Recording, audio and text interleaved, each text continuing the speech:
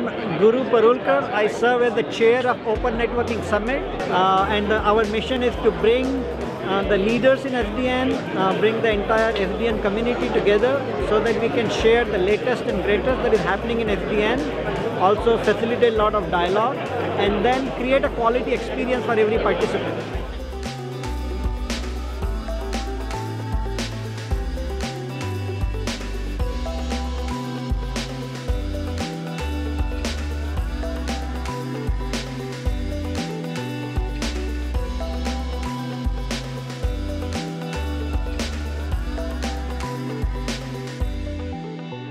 Is. I'm with Extreme Networks. I'm the Director of Solutions in the Data Center Campus Enterprise, SDN, um, and uh, marketing also.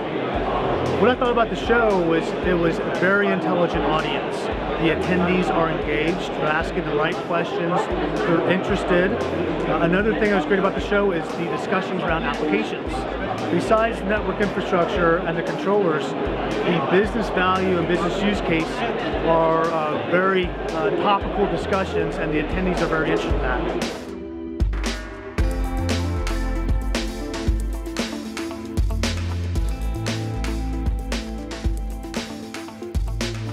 I'm Aaron Gember from the University of Wisconsin-Madison, uh, and we have a framework here for scaling and deploying middle boxes in cloud-based environments.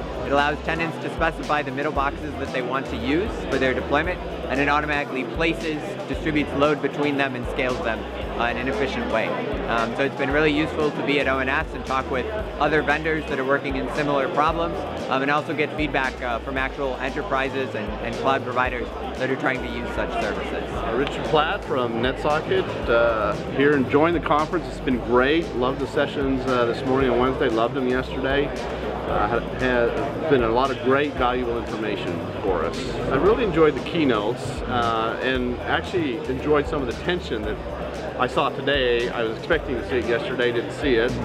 Uh, but some of the questions that were asked today were uh, were good, and it, this SDN ought to be causing tension. It ought to be causing tension between the uh, the network vendors of the past and the network vendors of the future.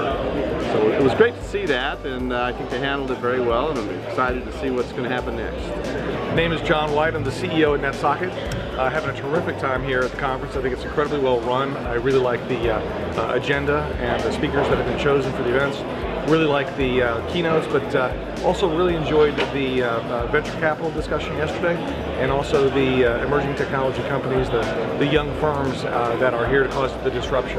So I really enjoyed those parts of the show.